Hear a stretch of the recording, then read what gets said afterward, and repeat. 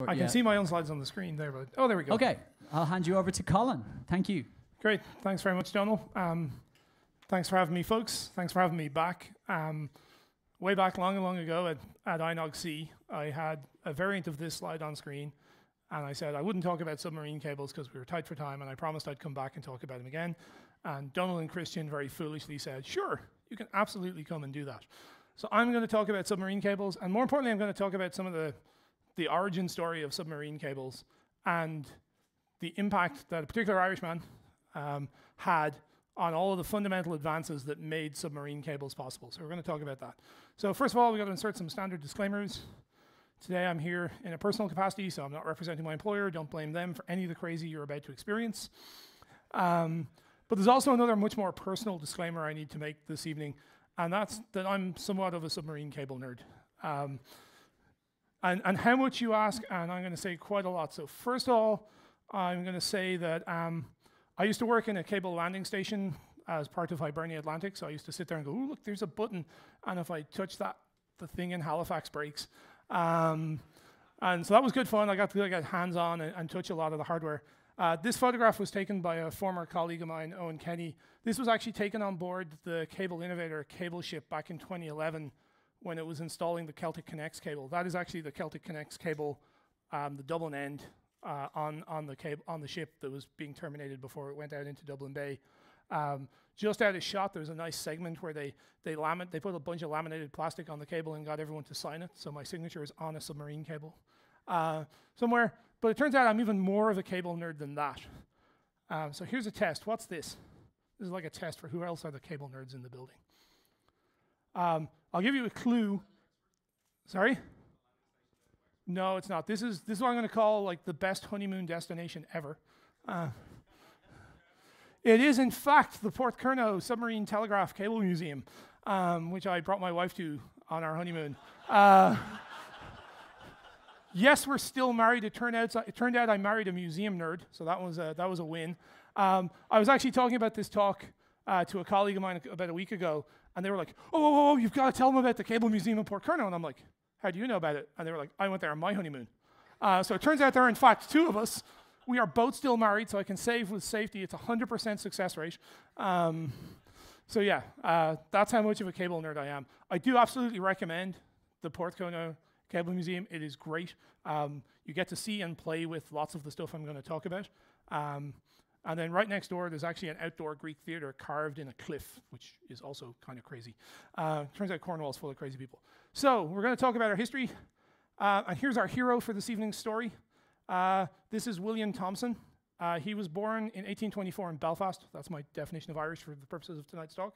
Um, that, that statue of him is actually in the Botanic Gardens in Belfast, if you're wandering around up there.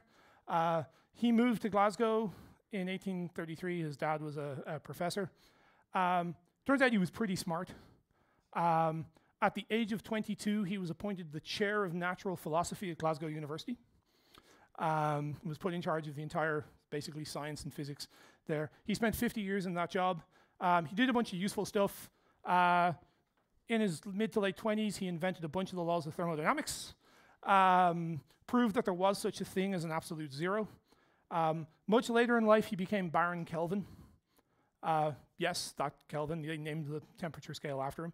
Um, but at the point where we're going to start our story in the early 1850s, he's basically unknown. He's written all this cool stuff. There's about 28 people in the world know he's a genius. Um, but modern, most of society has no clue who he exists, that he exists.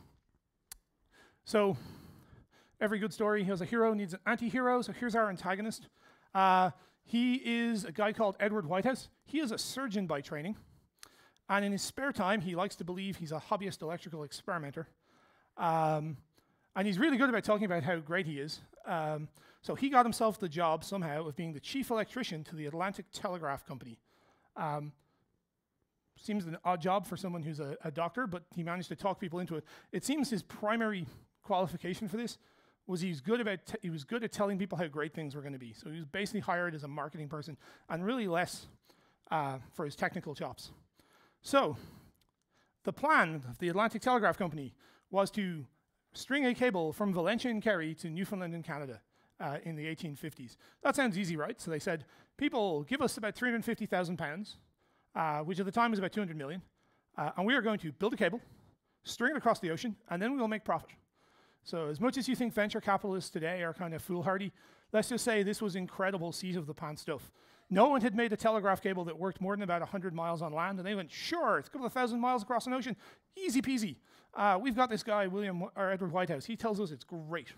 Um, and so they were trying to fundraise for this, and so they, uh, Edward Whitehouse was busy uh, publishing articles in a, in a, journal, in this case called the Athenaeum. Uh, it's like Reddit, but for Victorian hipsters. That's the way I describe it to people. Um, slightly heavier moderation. You have to wait before you see the posts. But he'd been publishing these articles going, this cable is going to be great. It's trivial. There's no hard problems here. It's easy. Um, everyone thought, yeah, this is going to be great.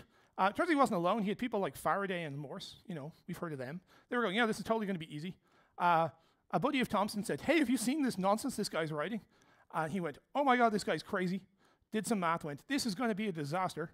Uh, started publishing counter articles to that and Q Flamore.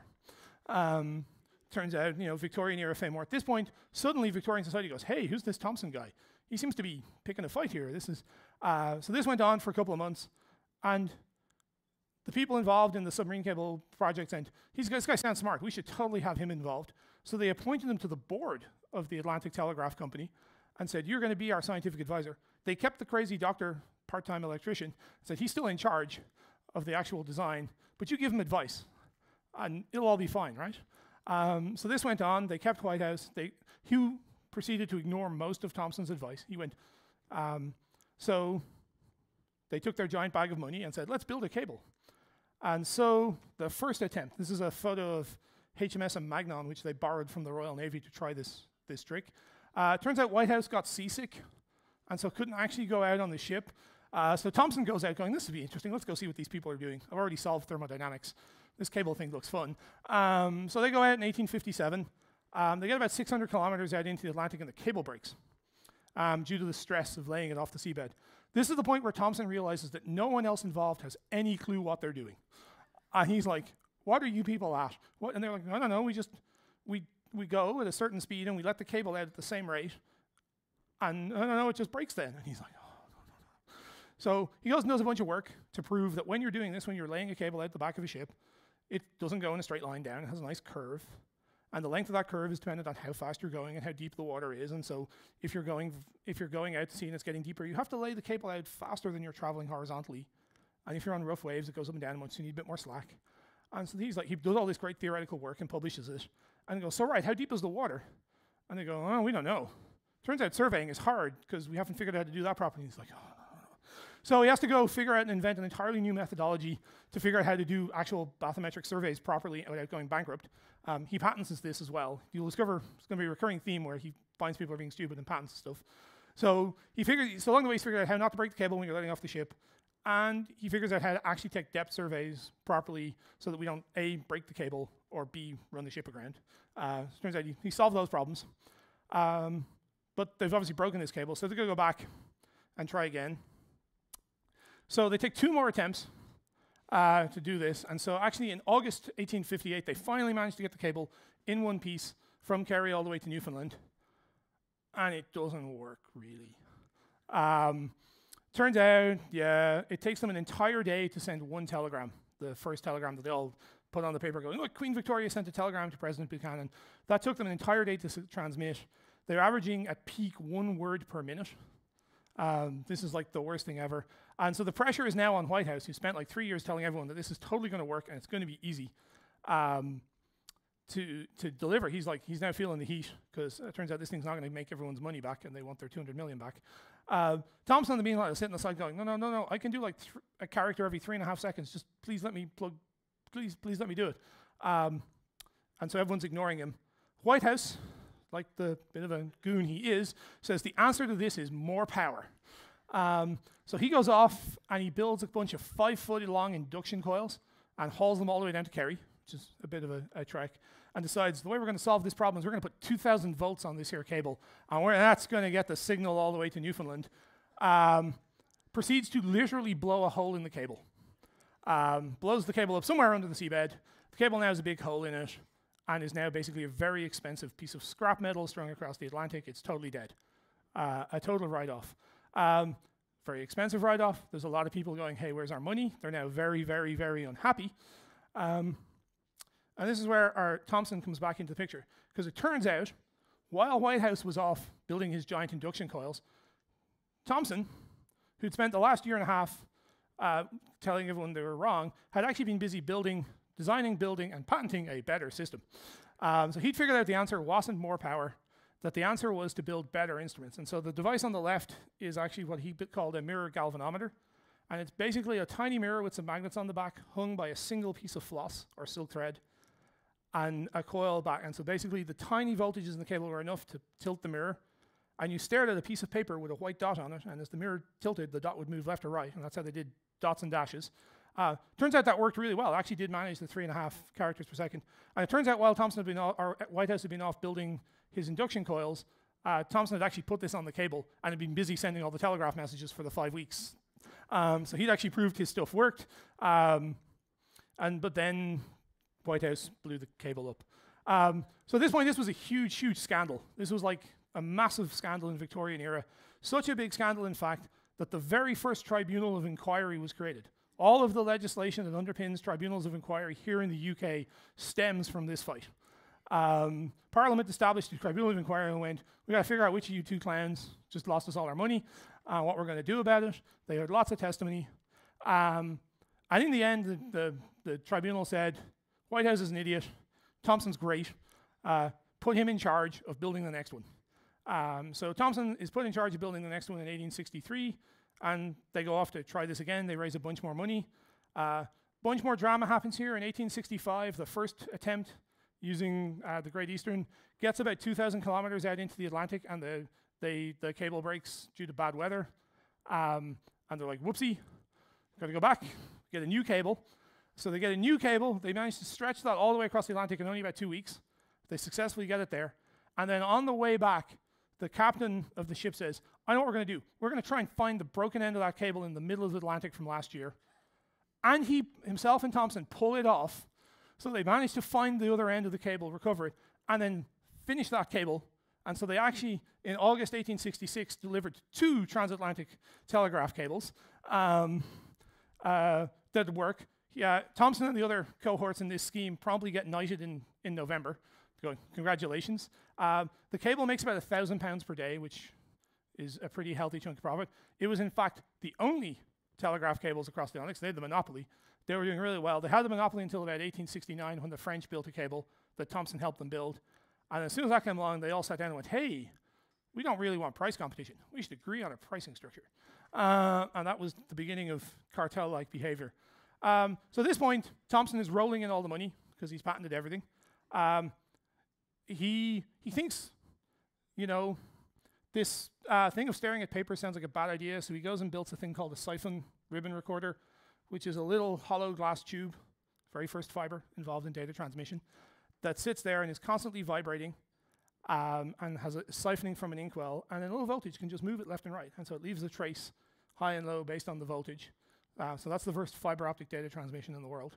Uh, patents this as well, rolls in yet more money, buys himself a giant 126 ton schooner to live on, and just potters around uh, the Mediterranean for the rest of his life. Uh, along the way, he got annoyed about the fact that marine compasses were crap, so we built better ones of those and patented that. And then got annoyed people couldn't predict the tides, so we built some tide predicting machines um, and patented that. Um, and so, yeah, basically, Thomson made it all possible. He was, he was from Ireland um, and was a big success. And so, that is basically the history of submarine cables in Ireland. And so I'll take some questions. Thank you very much.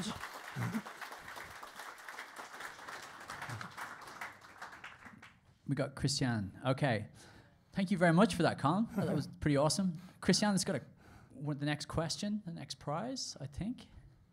Uh, just as we're getting ready for, for Chile. Oh, yeah, questions.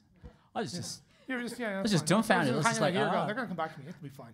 Has anyone got questions for Colin? He could probably answer pretty much anything you're going to throw at him on this uh, topic.